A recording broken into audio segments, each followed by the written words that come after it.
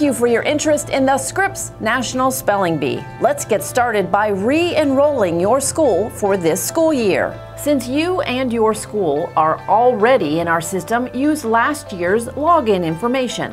After logging in, select the yellow Enroll Now button in the center of the screen.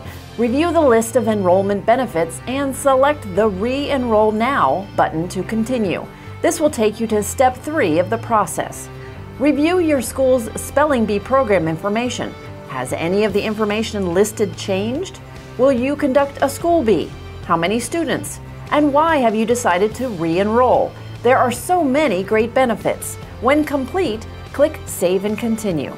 Step 4 Your payment. On the payment screen, click View and Accept Terms to read our terms and conditions. Once you've read through them, click I accept the terms to move forward. You can pay by credit card or check. Just enter your credit card information if you choose that option. A check takes some extra steps and a processing fee. Download your payment invoice to get your total.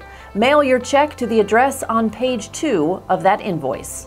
If you elect to pay by credit card, your school will enjoy immediate enrollment. At that point, log in to spellingbee.com and let the spelling fun begin as your students begin their journey to the Scripps National Spelling Bee. If you elect to pay by check, upon receipt of your payment, we will enroll your school and email you a confirmation of your school's enrollment.